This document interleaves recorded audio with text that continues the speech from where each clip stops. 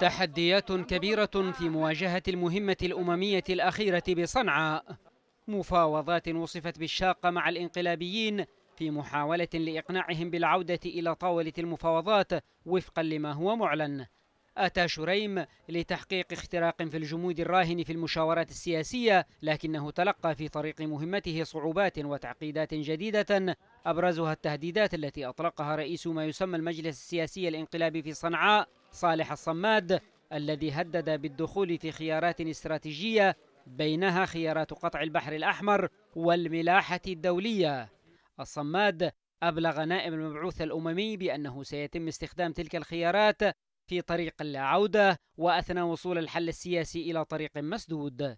تهديد يكشف عن المأزق السياسي والعسكري الذي يعيشه الحوثيون في هذه الأثناء على وقع التقدم الكبير لقوات الجيش الوطني باتجاه معاقلهم الحيوية ومنها الحديدة.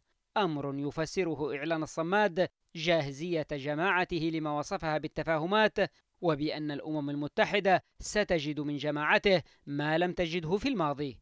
جزء من مهمة نائب المبعوث الأممي القادم من تجربة سيئة في ليبيا. كان خلالها يشغل المنصب نفسه. تنصب على أوضاع القيادات المؤتمرية والعسكرية المحسوبة على الرئيس المخلوع علي عبد الله صالح والموجودة حاليا في سجون الحوثيين. مهمة تلقي بظلال من الشك حول عدالة الأبعاد الإنسانية لمهمة الأمم المتحدة في اليمن. والتي تتجاهل حتى اللحظة آلاف المعتقلين والمخفيين قسريا في سجون الميليشيا الانقلابية المعلوم منها والمجهول منذ أكثر من ثلاث سنوات.